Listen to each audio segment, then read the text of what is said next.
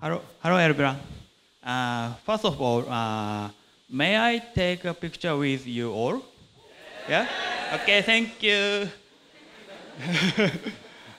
okay, say hello. Hi. Thank you, thank you so much. Thank you, Paul. And uh, I, I, my presentation slide is already posted to uh, uh, Twitter, X. So, and uh, I also post my this uh, photo now. Uh, please wait a second. Okay, I posted. Thank you. Uh, first, uh, let me introduce myself. Uh, but uh, already introduced. Uh, so, uh, in short, uh, my name is Takayuki Shimizukawa. I have been living in BGC Manila for uh, past seven months. And uh, I love spicy food, and my favorite Filipino dish is sisig. I, I ate last night. Yeah, it's good for me. Yeah, and I, I also love a craft beer. So uh, every weekend I will go. I I go to a craft beer uh, shop and I drink uh, Filipino craft beers.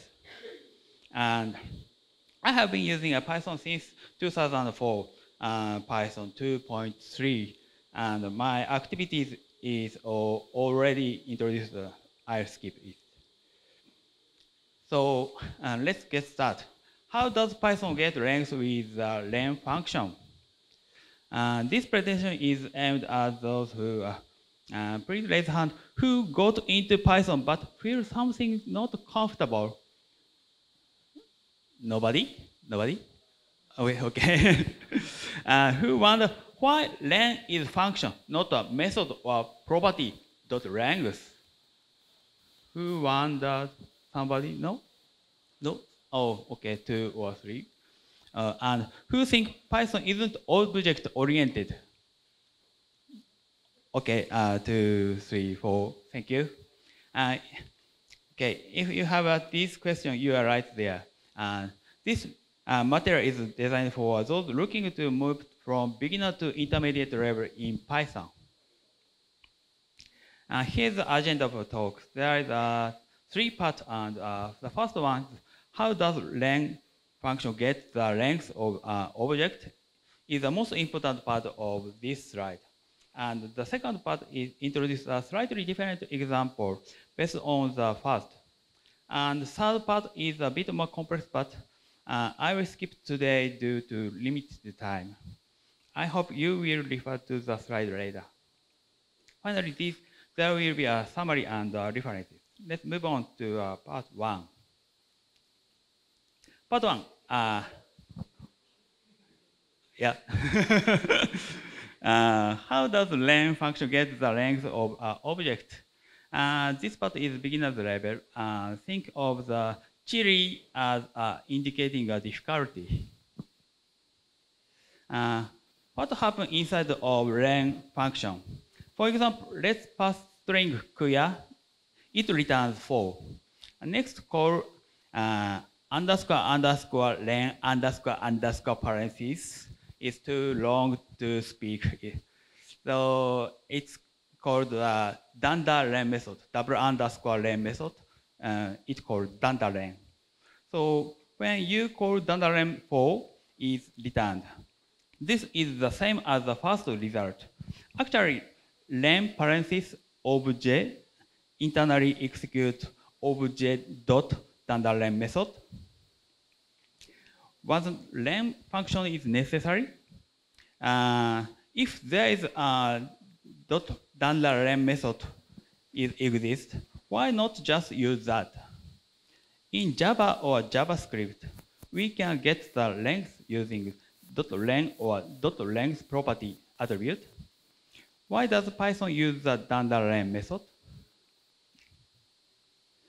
Actually, uh, len function does, uh, does a bit more. In this green part, uh, right bottom side, is it checks if the value returned by the string object is an int type. If it's not an int type, it throws a type error exception. This is how the len function uh, guarantee uh, int is returned. Um, by the way, uh, did you see top right chili icon is growing up? It's growing up. Yeah. Getting longer. If uh, go to back slide. Uh, if uh, dunder len returns a non-int value, it uh, I wrote this code to see what happens if dunder len returns 1.2, a prototype, type. You got an error. Float cannot be interpreted as an integer. There is another exception if you exceed Uh, big, big, big and numerical value is returned from uh, a dunder len method. You got uh, max max size blah blah exception. The responsibility of the len uh, function is to call the object dot object.dunder len method, check the ob obtained value, and return the appropriate value to their caller. This is called the adapter pattern, which perform interface conversion. The uh, len function adapts the object, extracts the value, processes, processes it, and returns the result. Visually, uh, dunder len is split into two, uh, left side and right side. Left side is uh, uh, string object provides the dunder len method, and right side uh, is means uh, len function require uh, dunder len method to adapt the object. So what is the adapter pattern? I think you might have heard of it before. I really, uh, this is this part uh, of this is uh, from Wikipedia. Uh, so in software engineering, the adapter pattern is a software design pattern that allows the interface of an existing class to be used as another interface. It is often used to make existing classes work with other without modifying their source code. And uh, right is a picture of uh, adapter, uh, AC adapter. It's an AC adapter. Uh, power adapter converting AC from uh, 100 volt to 240 volt to into 20 volt 3 amperes of DC. It's it's an adapter and uh, its uh, socket connector type is uh, interface and uh, uh, voltage and uh, ampere is a protocol of this.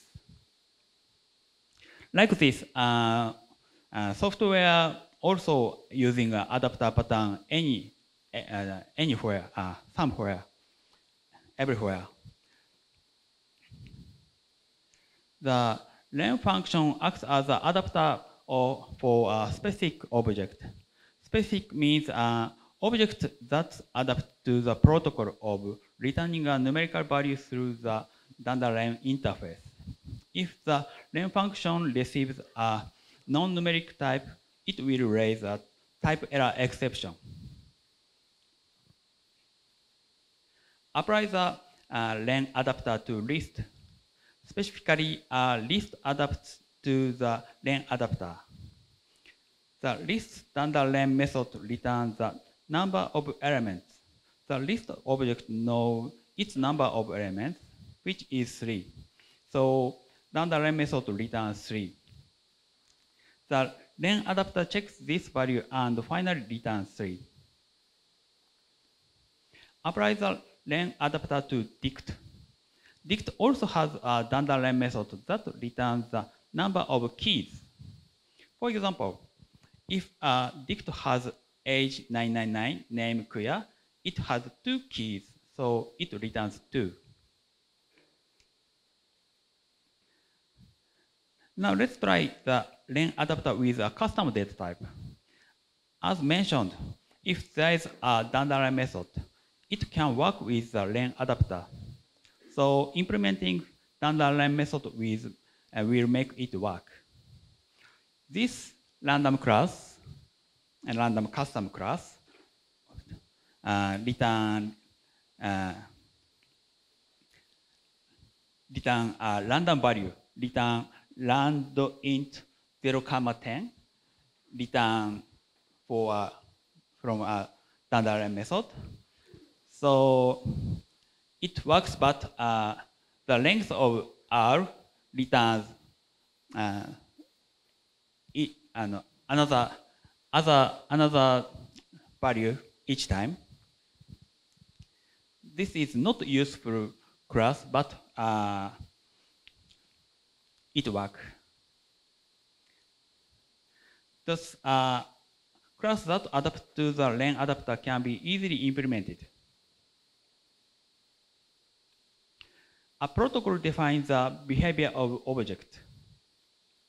The len function works if there is an object.len method.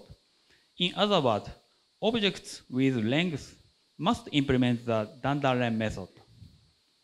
Implementing this uh, dunder len method is called implementing the length of pro uh, length protocol.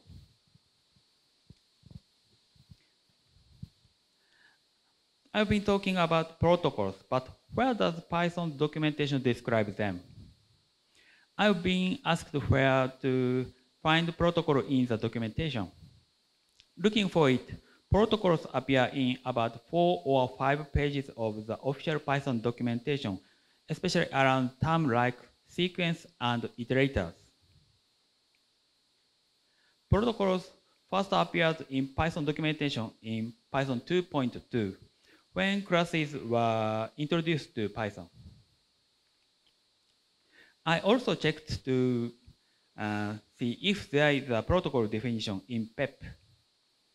Uh, the first mention of protocols in PEP was in May uh, 2017, PEP 544. PEP 544 was created to define the term protocol for the introducing of type hints. Uh, it means a type hint proposal required definition of protocols. Otherwise, uh, before the type hint, protocol is not specifically defined.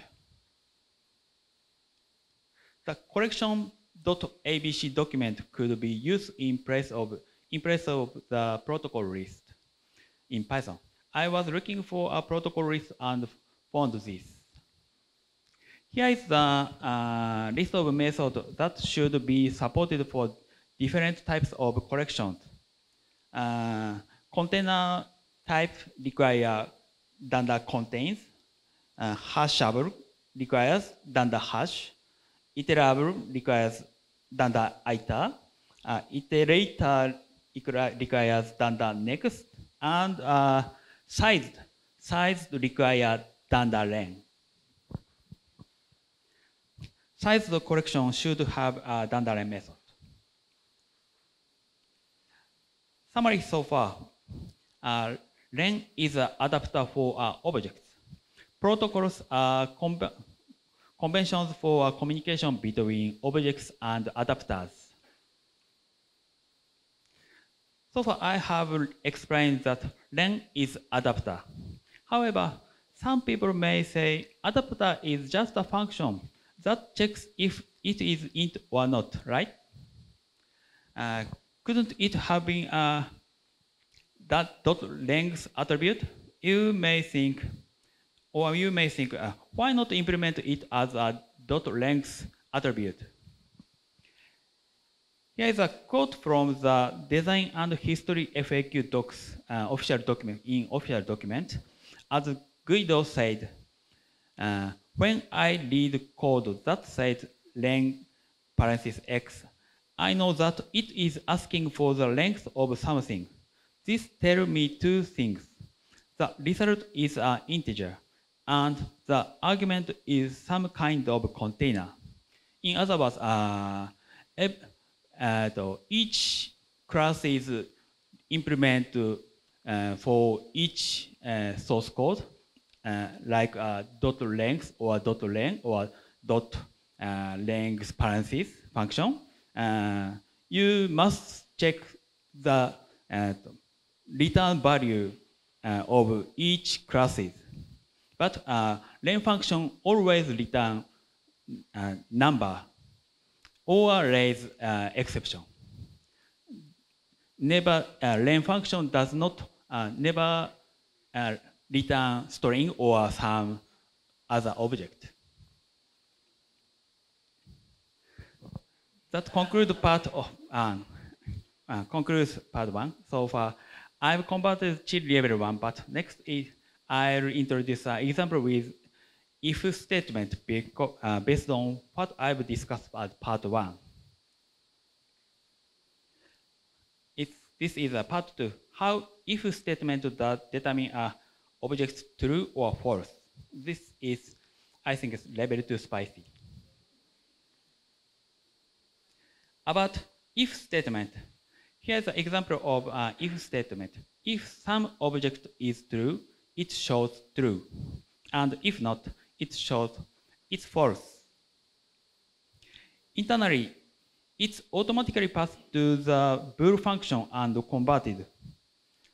This object, object will uh, pass to a bool function and converted. So let's start calling the bool function as adapter instead of a function. What happens inside of bool adapter? The bool adapter judges the truthfulness of object. For example, if you pass the number 42, it returns true. You might guess it's calling object dot bool method inside, right? Well, that's correct. It's the same as the len adapter we discussed earlier. So next, let's try it with a string. With strings, oops, it lays attribute error. Uh, if you call uh, string dot bool method, it call uh, it attribute error. What happened? So let's check the specification specification of the bool function in the documentation. Rule to converting number and string by bool. The following is quote from the official reference. Um, if the class condition for begin, uh, being considered false, if the class define bool or len methods, they return the integer zero or the false. Considering to be uh, considered true, not considered false. This means there is a bit more checking involved that uh, with the len adapter. So it seems like it is doing more work. If uh, let's introduce me the mechanism of the bool adapter with a diagram. If there is no bool method, it does something equivalent to uh, bool parenthesis, len parenthesis object.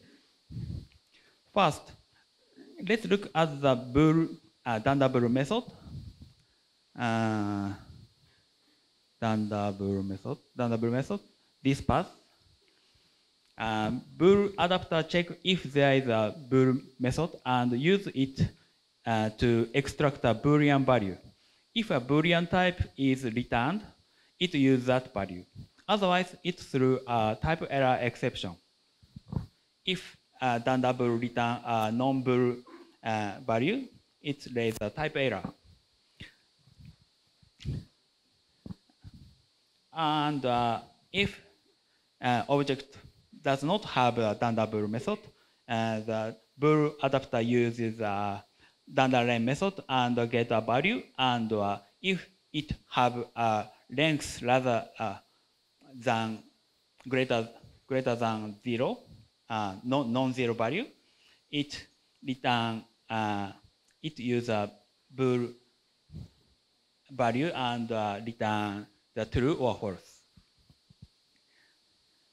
This is uh, the job of the bool adapter. I looked up the implementation code of the bool adapter in CPython for verification. Uh, this link is that is that is. Uh, so if you are interested, please check and read it. Uh, this is level 6 spicy, I think. Next, let's try using the bool adapter with a custom data type. I'm implementing the positive class, positive class, positive int class. Uh, it's true for a positive integer. What is does it? Inherit int and uh, implement a double method that returns true if self is greater than zero.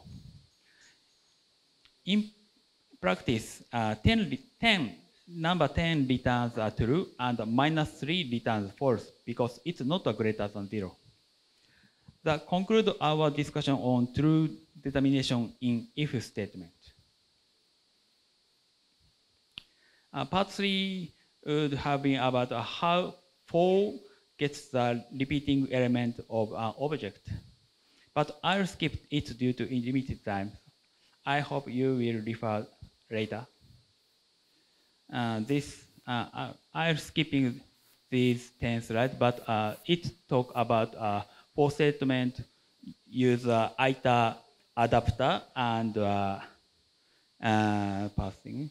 ITA adapter require I, I danda, dunder iter and the, or dunder getitem and uh, blah blah blah and uh, custom data type I created and what happened inside. What happened inside. And the protocol is, the uh, definition of protocol is here. Okay. Summary. Uh, to wrap up, in today's talk, I've introduced adapter and protocols through example of uh, len and bool doesn't it make sense to call len is an adapter pattern? Is it? I hope this talk makes you feel that Python is not non-object oriented just because of the len function, len is function. If you like a design pattern, seeing it as an adapter pattern might be uh, satisfying. Also, there is a lot of information in the official reference most of the quotes today were from the official reference.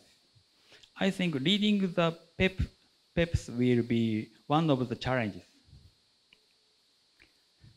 Regarding the len function versus dot length attribute, uh, let's put your own preference aside for now. Even just looking at the len function, you can see that there has been a lot of discussion about why the language specification is the way it is today.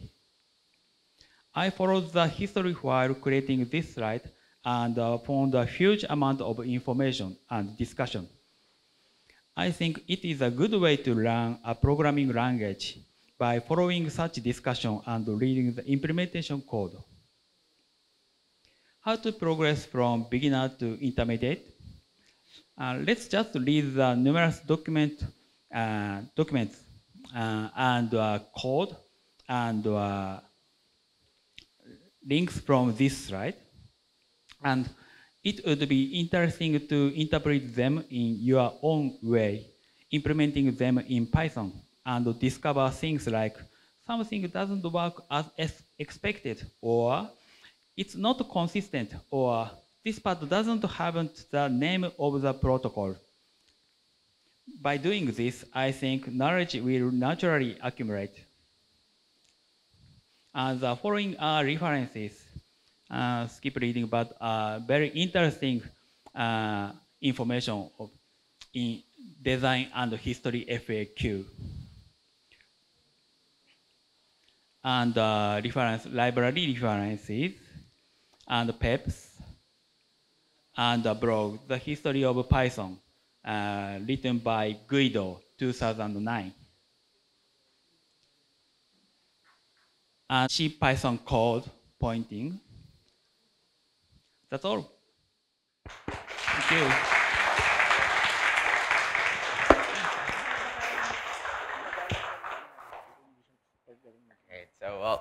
Okay, thank you for that, uh, Takayuki-san. Thank you for uh, lifting up the curtain and uh, introducing us to how Len works. Now, we do still have some time uh, for Q&A. So, uh, does anyone have any questions? Now, while you are formulating your questions here, I, I do have a question, um, Takayuki-san. So, all right. So, um, in our attendees, there's a lot of students or those who have just started learning Python, maybe just a year yet.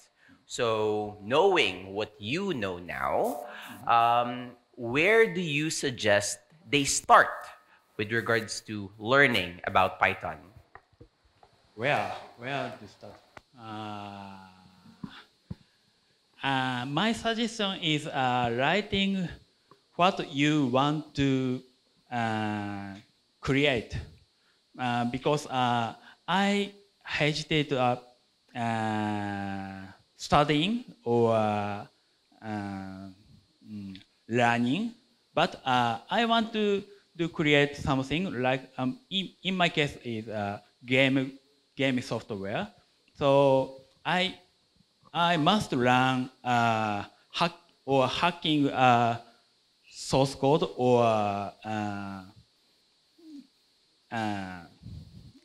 in, uh, deep inside uh, of uh, internal of uh, like a machine machine language.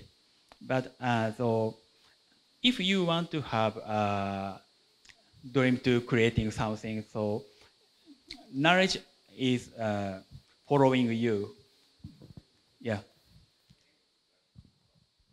Okay, well, yes, um, absolutely. Uh, if ever you want to motivate yourself about learning something, it's easier if you're liking what you're doing. Like the suggestion of uh, Takayuki-san, which is perhaps starting a game. Um, now, does anyone? Oh, we have a live question. Go ahead. So um, in Python, um, say you have a list of strings, right? Then you want to join them with a comma. Uh-huh. Um, what's your what's your opinion on the join function in the string instead of the list function? Which I think it's I don't know. For me, it's like um, confusing at first. Yeah, yeah, don't yeah. I, I know, I know. And uh, uh, recently, I use um, most using language is not Python, just uh, TypeScript I wrote, but uh, TypeScript require uh, list of strings dot join uh, con- connector string, but uh, uh, sometimes I back to Python. Uh, I wrong that, so uh, yeah, it, it's not. Uh, I think. Uh, uh, mm, I think there's a yeah, yeah. Uh, now, now today, uh, I I'm helped by uh, GPT or uh, Copilot. it corrected me. yeah. Yeah, I'm, I'm just um, yeah. We all get confused, Yeah. I guess. I get confused by that also. Yeah. Thank you. All right. Well, that's as much time as we have for the Q&A. Again, everyone, please give a big round of applause to Takayuki-san.